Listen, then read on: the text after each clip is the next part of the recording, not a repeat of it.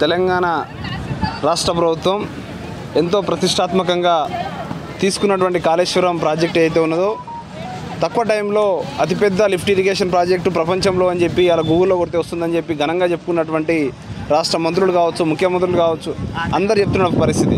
కానీ ఆ కాళేశ్వరం ప్రాజెక్టు కేవలం మెగా కృష్ణారెడ్డి అనే ఒక కార్పొరేట్ సంస్థకి అప్పగించి వాళ్ళ జేబులు నింపడానికి మరియు వీళ్ళకి రావాల్సినటువంటి ఏదైతే రావాల్సినటువంటి అమౌంట్ ఏదైతే ఉన్నదో పైసలు ఏవైతే ఉన్నాయో దానికోసం చేసిరు తప్ప ఇలా ఏదో రైతులకి న్యాయం చేయాలి వాళ్ళ పంట పొలాలకి నీళ్ళు ఇవ్వాలని చెప్పి చేసినటువంటి ప్రాజెక్ట్ అసలే కాదు. వాళ్ళు అనుకుంటే చాలా గొప్ప ప్రాజెక్ట్ ఏదైతే ఇంతకుముందు ఉన్నటువంటి ప్రాణహిత చెవెళ్ళ ప్రాజెక్టు పేరు మీద ఉన్నటువంటి ఆ ప్రాజెక్ట్ ఏదైతే ఉందో కావాలని రీడిజైనింగ్ల పేరు మీద వీళ్ళ జేబులు నింపుకోవడానికి కోసం చేసినటువంటి ప్రాజెక్టే తప్ప ఇవాళ ప్రజల జేబులు నింపడానికో ప్రజల యొక్క జా కడుపు నింపడానికో చేసినటువంటి ప్రాజెక్ట్ అసలే కాదు. ఇవాళ మనం చూస్తూ ఉన్నాము చిన్న చిన్న వర్షాలకే ఇవాళ కూలిపోతున్నటువంటి పరిస్థితి ఉన్నది. పంప్ హౌస్లు మొత్తం నీటి మునిగే పరిస్థితి ఉన్నది. ఇలా బాహుబలి పంప్ హౌస్లు అని చెప్పి చెప్పుకున్నటువంటి ఈ రాష్ట్ర ప్రభుత్వం ఇలా మొత్తం నీట మునిగి ఇలా అక్కడ ఉన్నటువంటి నీళ్ళని కావచ్చు అక్కడ ఉన్న ఉన్నటువంటి వేరే మట్టి కావచ్చు ఇసుక కావచ్చు అవి తీయడానికి ఎక్కువ ఖర్చు అవుతున్న పరిస్థితి తప్ప ఇలా ఇక్కడ ఏం చేసింది లేదు.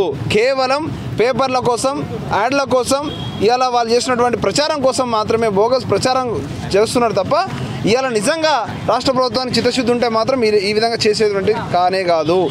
ఇవాళ ఒక దగ్గర నుంచి ఇంకో దగ్గర ఎత్తిపోయడం ఇంకో దగ్గర నుంచి ఇంకో దగ్గర ఎత్తిపోవడం ఈ ఈ ప్రాసెస్లో జరిగేటువంటి కరెంటు ఖర్చులే కరెంటు బిల్లులు ఎక్కువైతున్న పరిస్థితి తప్ప ఇలా ఒక ఎకరం మినిమం ప- ఒక ఎకరం పారాలంటే నీళ్ళు దాదాపు అరవై వేల ఖర్చు వస్తున్నటువంటి పరిస్థితి ఉన్నది. ఇలా ఒక ఎకరంలో అరవై వేలు ఇవాళ పెట్టుబడి పెట్టి రైతు అరవై వేలు లాభం పొందేటువంటి పరిస్థితి ఉన్నదని ఒకసారి గమనించాల్సిన అవసరం ఉన్నది.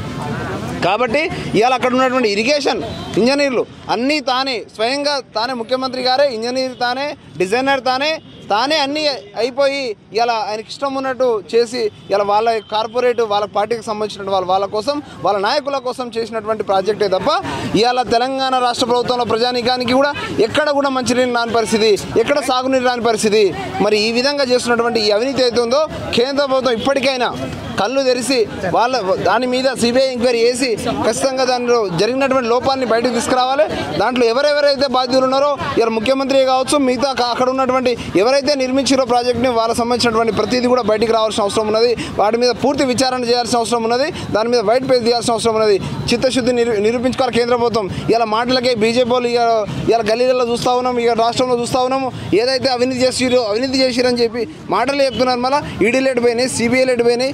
ఇలా ఇక్కడ ఎంత అవినీతి జరుగుతుంటే కూడా ఎందుకు మీరు స్పందిస్తలేరు అనేది ఇలా జ- జనం కూడా గుర్తిస్తూ ఉన్నారు. మీరిద్దరు ఒకటే ఇలా బీజేపీ టీఆర్ఎస్ ఒకటే మొత్తానికి మొత్తం తెలంగాణ రాష్ట్రాన్ని సర్వనాశనం చేసేటువంటి కంకణం కట్టుకున్నారు. ఇలా మీ కార్పొరేట్ శక్తుల కోసం వాళ్ళ జేబులు నింపడానికే మీరు పథకాలు తెస్తూ ఉన్నారు ఇలా ప్రాజెక్టు తెస్తూ ఉన్నారని చెప్పి ఇలా తేట ఈ విషయాన్ని మాత్రం ప్ర- దేశ ప్రజలు ఇక్కడ ఉన్న రాష్ట్ర ప్రభుత్వం అందరూ గమనిస్తూ ఉన్నారు. మీ ఇద్దరు తోడు దొంగలై జనాన్ని సర్వనాశనం చేసేటువంటి పరిస్థితి ఇస్తూ ఉన్నారు. కాబట్టి దీన్ని ఖచ్చితంగా మేము ఎదుర్కొంటాం. ఈ విధంగా ఇప్పటికైనా నిజంగా కేంద్ర ప్రభుత్వానికి బీజేపీ ప్రభుత్వానికి మాత్రం చిత్తశుద్ధి ఉండే ప్రధానమంత్రి గారు ఇప్పటికైనా దీని మీద స్పందించాలి. దీని మీద జరిగినటువంటి అవినీతిని మొత్తం బయట తీసుకురావాలని చెప్పి కోరుతా ఉన్నాం.